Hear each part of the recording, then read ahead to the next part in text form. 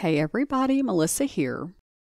So I was asked in a comment how to create an annual dynamic calendar in Microsoft Excel. Now what they mean by dynamic is when you select a year from a drop-down, the calendar automatically updates to reflect that year. And that's what we're going to be looking at today. I cannot wait to show you how this works, so let's go ahead and get started.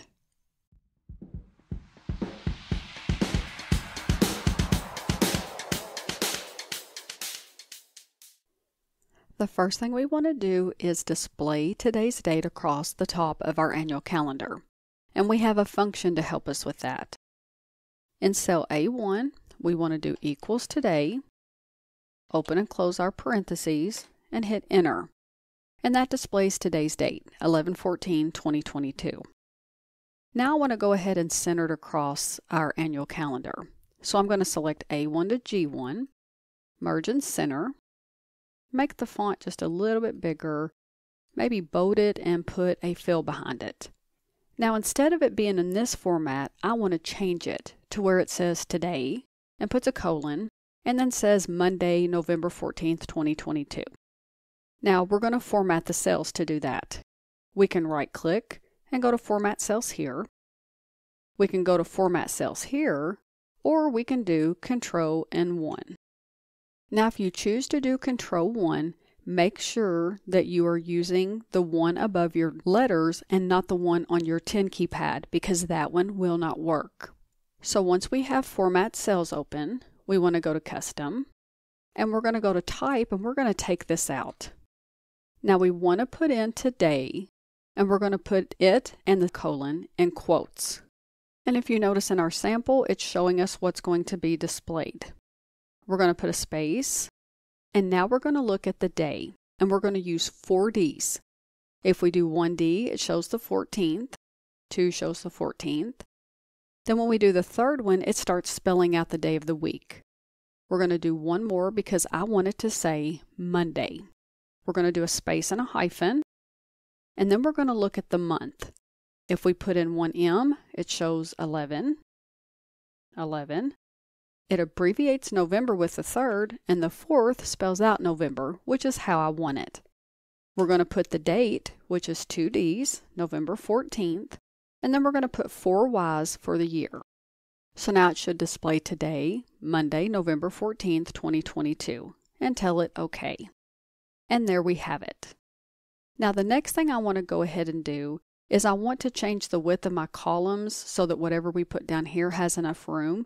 So I'm just going to select column A through column G, right click, column width, and I'm going to do 15.00 and tell it OK.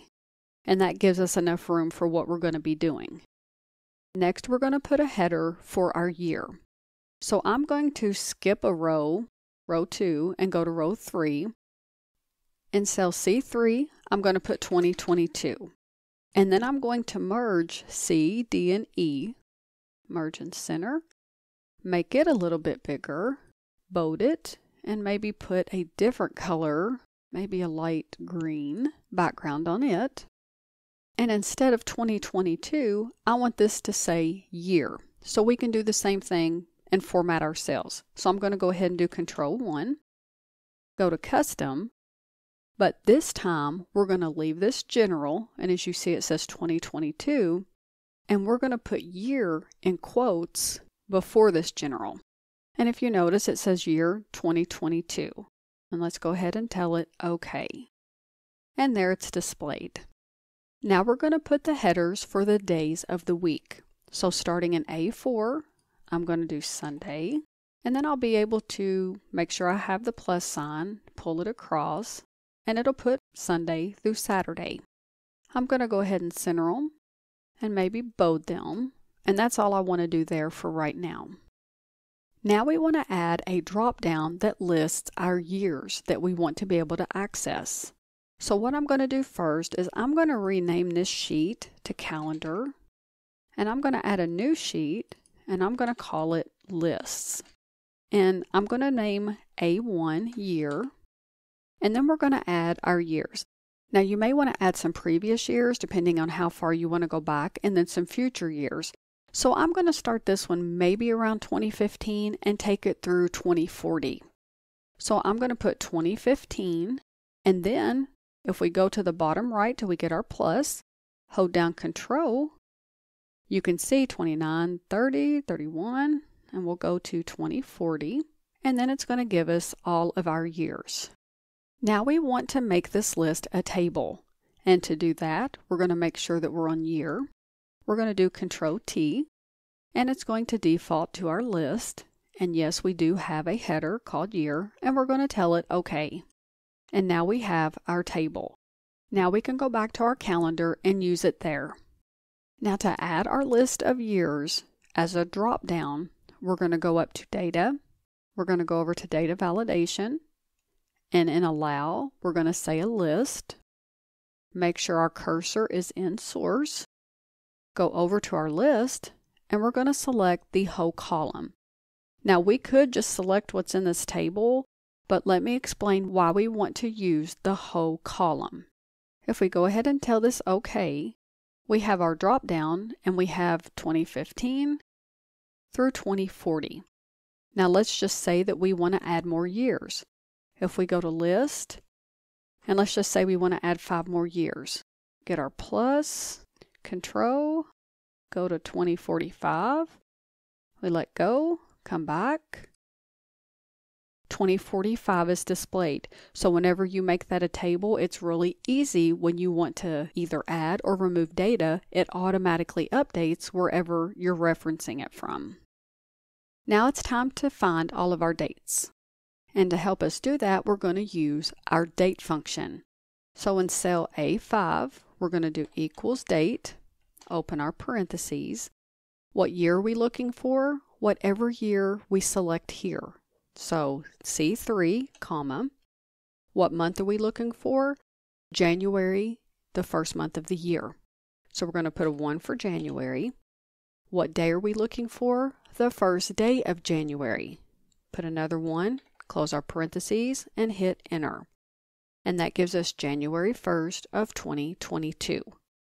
So if we wanted to do this manually just to see what it looks like, we could go to Monday, do equals A5 plus 1, and that's going to give us January 2nd. If we pull it, it's going to give us Saturday the 7th, so the 1st through the 7th. Now this is great, but there's one problem. January 1st of 2022 didn't fall on a Sunday. It fell on a Saturday.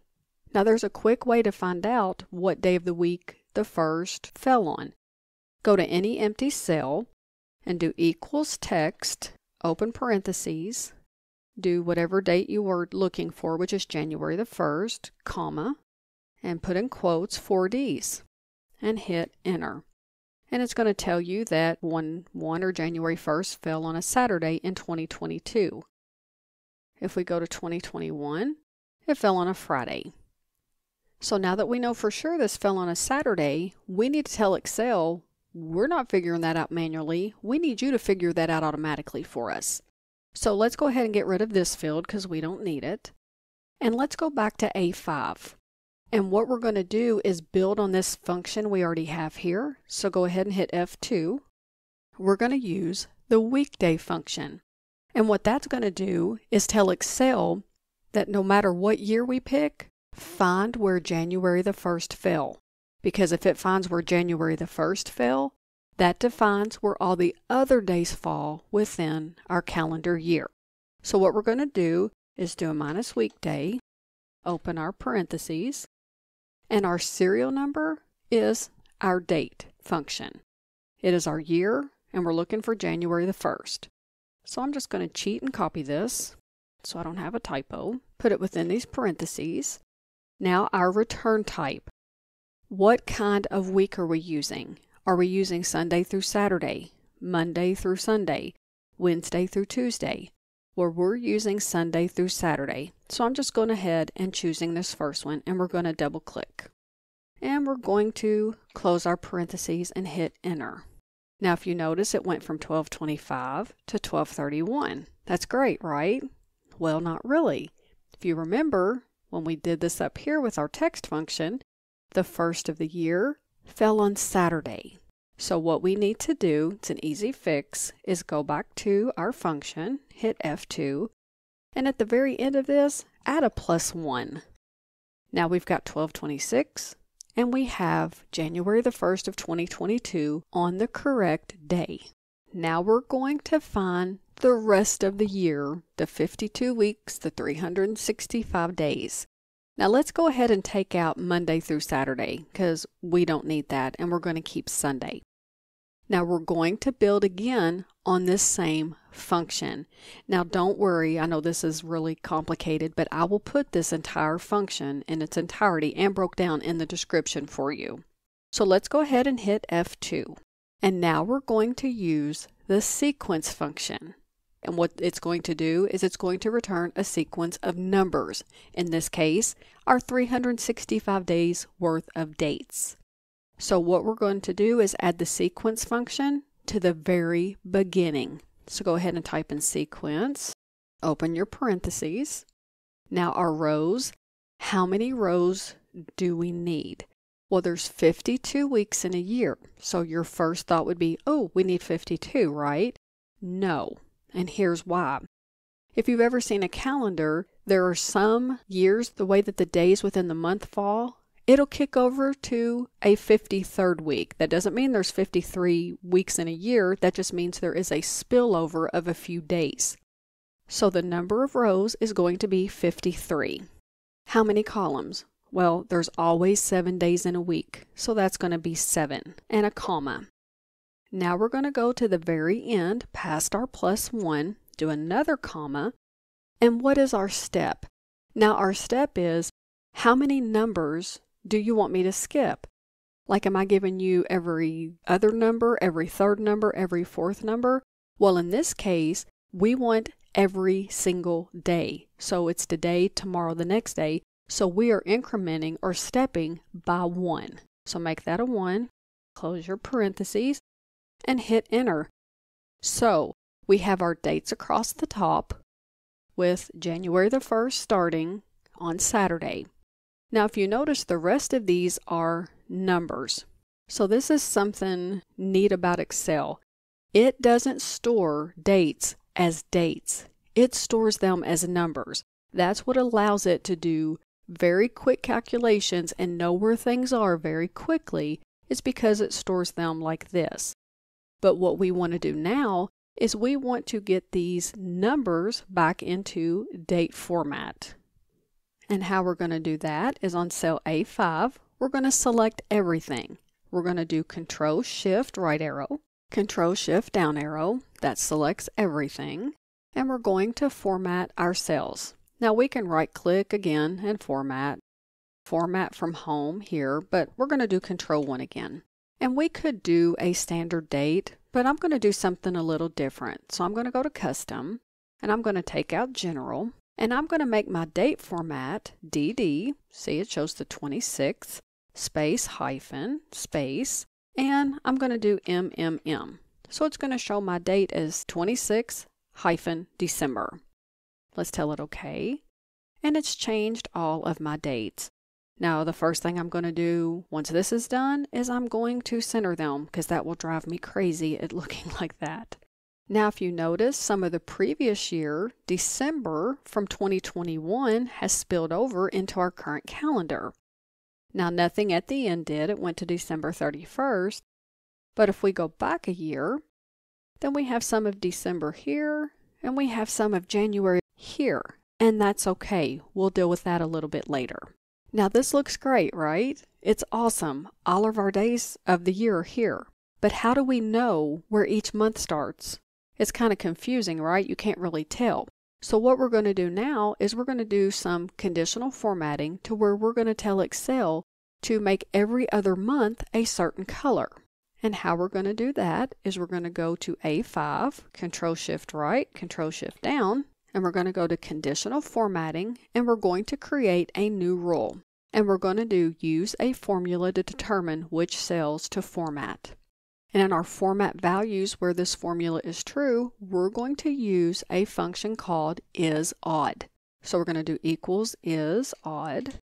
And why are we using is odd? The first day of the month is always a 1, and that 1 is always odd. So that's what it's telling it to look for. We're going to go back up and we're going to input month, put another parentheses, and we're going to choose cell A5. And we're going to hit F4 three times to make this not an absolute cell reference because we want it to search the entire calendar for that one, not just this cell here. And then we're going to close both sets of parentheses. And now we're going to tell it how to format it. Let's go to Format. Let's go to Fill. And let's just say we make this, I don't know, a green. Tell it OK. This is what it's going to look like. And tell it OK. If you notice, January's green, February is not, March is green, and so on. Now you can leave these white or you can go in, select everything, go to conditional formatting, new rule, use a formula, and you can do the opposite equals is even. Open your parentheses, month, open your parentheses, A5, F4 three times to make it not absolute, close both of your parentheses, format, Let's make this like another light yellow. Tell it okay, okay. And there is green, yellow, green, yellow, green, yellow. So it makes it a little bit easier to tell where your months stop and start. But let's take it a step further and make the first day of each month stand out. So we can go back to A5, Control Shift right, Control Shift down, conditional formatting, new rule, use a formula, and we're going to use an AND formula. So we're going to do equals AND, open our parentheses, year, open parentheses, A5, again, F4, three times to make sure it's not an absolute cell reference, close that one, equals our year, keep it an absolute cell reference because in this case, we only want it to look for the year in C3 and C3 only. We're going to do a comma, do a day, open parentheses, A5 again, and our F4 three times, close parentheses, equals 1, close the parentheses again. Okay, you're like, what is that? so I'm going to put this down in the description as well. Basically, what this is saying is Excel, I want you to look in the year that is selected here, whether it's 2021, 22, 24, 2015, and I want you to find the first of each month, and I want you to do what I tell you to do here. So let's go ahead and click Format, and let's just say we want to put a outline border, and we want it to be red. We want to change our font to red, and is that all we want to do? Let's just say that's all we want to do for now. Tell it OK, tell it OK, and look, the first of each month has a box around it and it's red. Now I want to format what day of the year today is. So I'm going to select everything, Control Shift right, Control Shift down, conditional formatting, new rule, use a formula, and we're going to do equals A5, and we're going to F4 to take the absolute cell reference out, equals today's date, which is a1 and we're leaving it an absolute cell reference and we're going to tell it to format. And let's just say we want to fill it with purple and we want to make the font white and we want to bold it. Tell it OK. Tell it OK. And look here, November the 14th. Tomorrow this will look like this and so on. So that looks great, right? it's working the way that we want it to.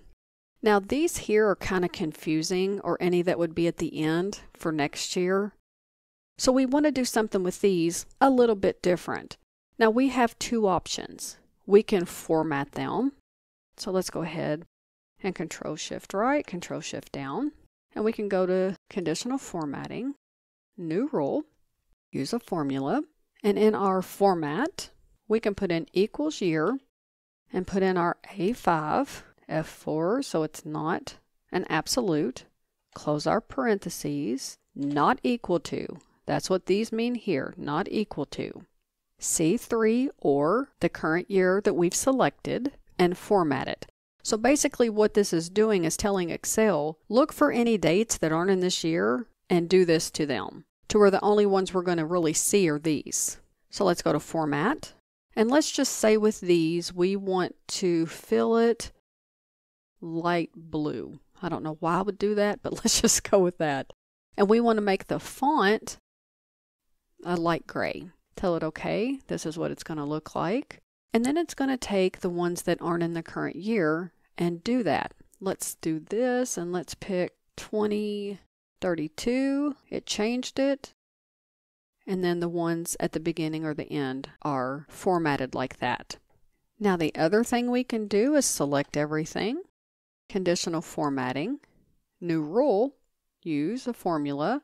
We can do equals our year. A5, F4 three times to take out our absolute cell reference. Close our parentheses not equal to our year.